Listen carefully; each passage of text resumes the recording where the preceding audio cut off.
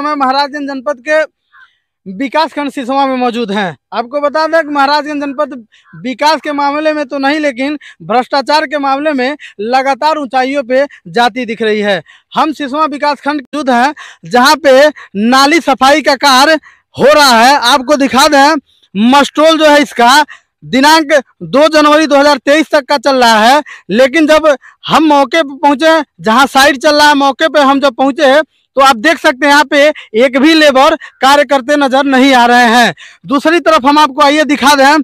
कि मस्टोल दो तारीख तक का चल रहा है, लेकिन एक भी मजदूर काम नहीं कर रहे हैं। अब कहीं ना कहीं ब्लॉक स्तर के बड़े अधिकारियों के ऊपर बड़ा सवाल उठता है कि आए दिन मनरेगा के नाम पे हर जगह इस प्रकार के घोटाले दिखाई दे रहे हैं, सामने आ रहे हैं, लेकिन क्या कार्रवाई कर रहे हैं, बड़े अधिकारी जनपद में किसी से छिपा नहीं है। कहीं ना कहीं लोग मायूस नज़र आ रहे हैं कि तमाम तरह के शिकायत दर्ज करने के बाद भी अधिकारियों के द्वारा, ब्लॉक स्तर के अधिकारियों के द्वारा कोई कार्रवाई नहीं की जा रही है, जिससे आम नागरिक त्रस्त हो गया है, आम नागरिक परेशान हो गया है। मैं हमारे साथ ग्राम सभा के कुछ लोग मौजूद हैं, हम इनसे बातचीत करेंगे और आपको हम कैमरे के माध्यम से दिखाएँगे कि ये जो नाली का कार्य हो रहा है, कितने दिन पूर्व समाप्त हो चुका है, लेकिन अब भी मस्टोल चल रहा है। हमारे साथ मौजूद है ग्राम सभा के कुछ लोग, हम आइए बातचीत करते हैं। आपका क्या नाम है? निजामुद्दीन। ये नाली का जो कार्य है कितने दिन पूर्व समाप्त हो चुका है? अरे कई दिन हो गया ये।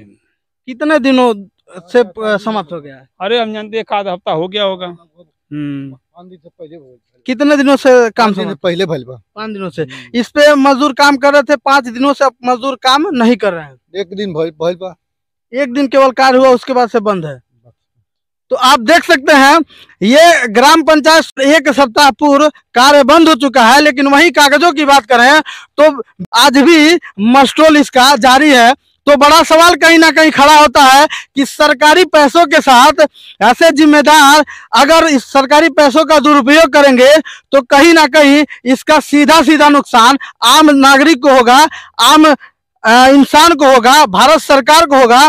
लेकिन बड़ा सवाल उठता है इन अधिकारियों के ऊपर कि ऐसे तमाम घोटाले मनरेगा के नाम पे महाराजगंज जनपद में आए दिन देखने को मिल रहे हैं, लेकिन कोई कार्रवाई नहीं की जा रही है।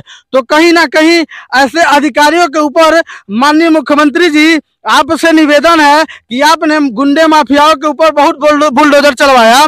तो आपसे विनती हाथ जोड़ करके कि जो भी अधिकारी भ्रष्टाचार के मामले में पकड़े जाते हैं, संलिप्त होते हैं, उनके खिलाफ भी एक बुलडोजर चलवाइए, ताकि जनपद के जितने अधिकारी हैं या ब्लॉक स्तर स्तर के जितने भी अधिकारी हैं, उनके अंदर एक खौफ पैदा हो, एक डर पैदा हो, ताकि जो सरकारी धन के साथ दुरुपयोग कर रहे हैं, उस धन का दुरुपयोग करना बंद करें।